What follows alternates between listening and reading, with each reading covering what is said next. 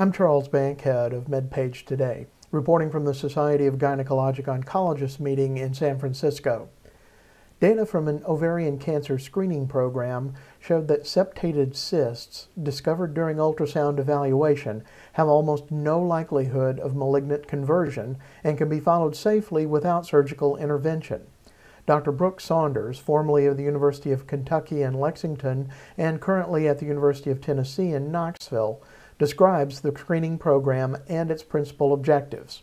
Basically, we've uh, had a great interest in uh, ovarian cyst and ovarian cancer screening coming from the University of Kentucky, where we've had an ovarian cancer screening program with ultrasounds for over 20 years now. Uh, it's allowed us to really look at simple cyst, cyst with septations, uh, complex cyst, and to allow, offer this ultrasound to women throughout the state of Kentucky to try to detect ovarian cancer earlier, which has a better overall survival for the patients. Um, that being said, uh, we were able to look at the characteristics of certain cysts, which we now know are not cancerous.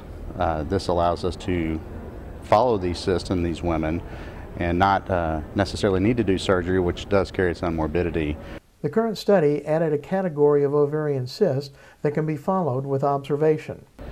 We've looked at almost 30,000 women uh, throughout the years of the ovarian cancer screening program at Kentucky, and we have looked at simple cysts in the past and found those to have a very, very low, if any, chance of malignancy. Our current study, we evaluated the septated ovarian cyst, which have uh, thin fibrous bands. We looked at cysts with uh, we measured the septations according to either less than or greater than two millimeters. And we looked at uh, over 2,800 cysts in over 1,300 women. We were able to find that the cysts that these women had resolved about 40% of the time and that there was a very low chance of malignancy with these, essentially 0%. There was one patient that was found to have a borderline tumor of low malignant potential and there was one patient that did develop ovarian cancer, however, that was in the opposite ovary and wasn't even in the ovary that we initially studied. Therefore, it allowed us to conclude that the septated ovarian cysts have essentially a 0% chance of malignancy. Ultrasound-based ovarian cancer screening benefits patients and physicians alike, said Saunders. One, it allows them to better counsel their patients on the findings of the cyst. If they truly do have a simple cyst or a septated ovarian cyst, that they can safely follow these with ultrasound.